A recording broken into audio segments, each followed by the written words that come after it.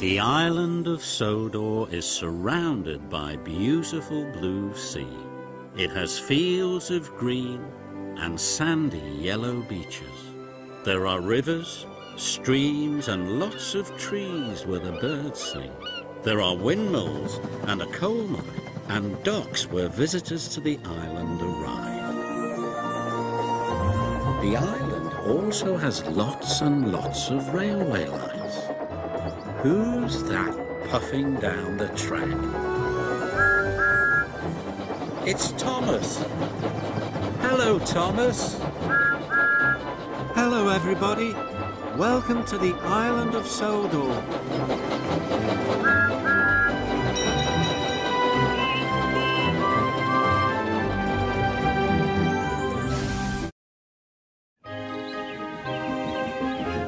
The engines on the island of Sodor love the summer. The Fat Controller arranges lots of concerts. Music can often be heard drifting through the air. The engines do enjoy it. One morning, the engines were very excited. Alicia Botti, the famous singer, was coming to the island of Sodor. She's a coloratura, said Gordon importantly. What's a coloratura? asked Thomas. It means she can sing high notes very, very loud. The Fat Controller will choose me to collect her, boasted James. I'm the brightest and the shiniest. Nonsense. I'm the most important, huffed Gordon. Thomas wanted to feel important too. He might choose me, he said hopefully.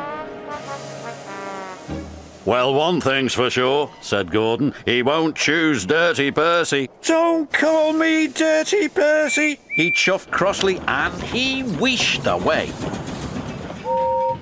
But the next day, the Fat Controller didn't choose Gordon, and he didn't choose James. He chose Thomas. Make sure Annie and Clarabel are squeaky clean, he said.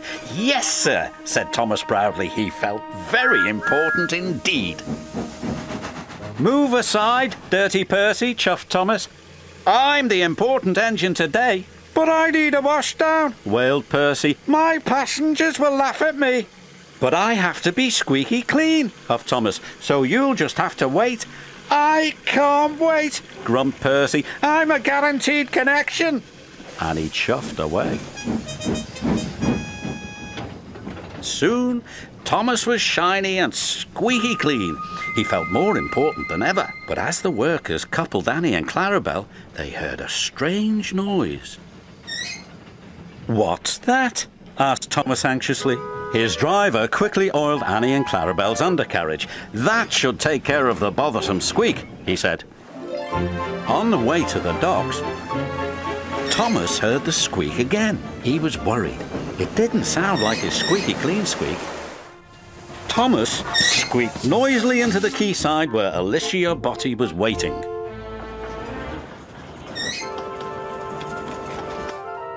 The Fat Controller held Clarabel's door open when Alicia Botti screamed.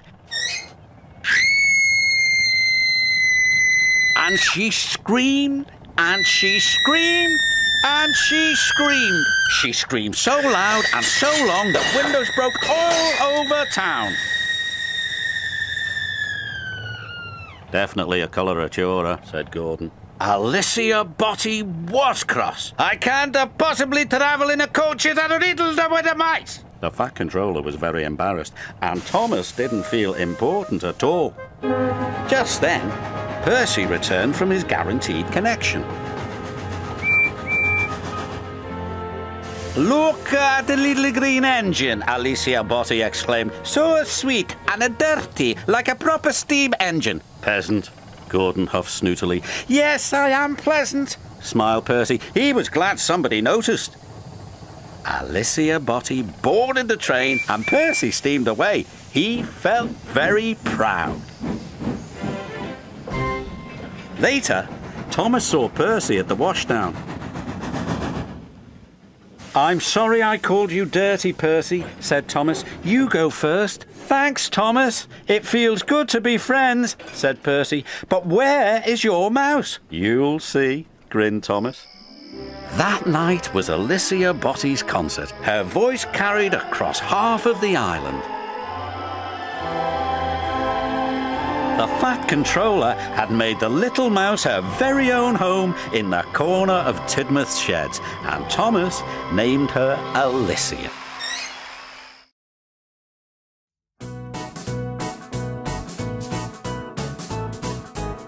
They're two, they're four, they're six, they're eight, shunting trucks and hauling